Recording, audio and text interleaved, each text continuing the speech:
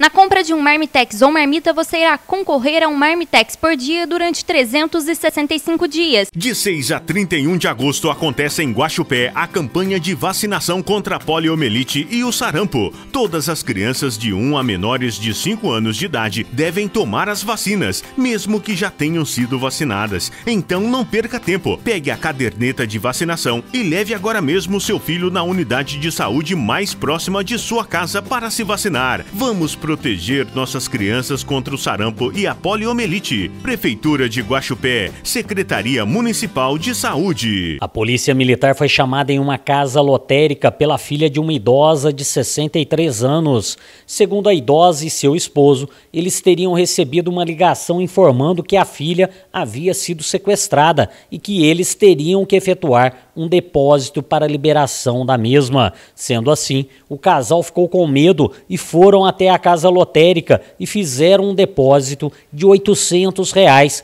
em uma conta bancária do Rio de Janeiro e voltaram para casa. Algum tempo depois, a filha chegou à casa e o casal percebeu que haviam caído em um golpe. Oriente seus familiares para não cair nesse tipo de golpe e outros golpes, como falso parente chegando e o carro quebrou, onde o mesmo pede depósito em dinheiro, entre vários outros que divulgamos constantemente.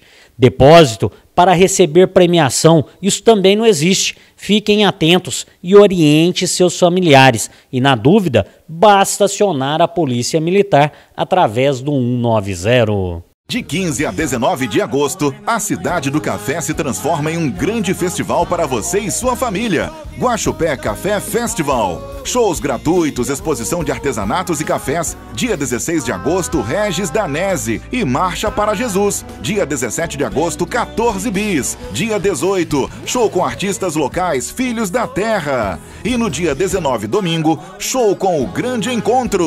Esperamos por você. Mais uma realização da Prefeitura de Guaxupé.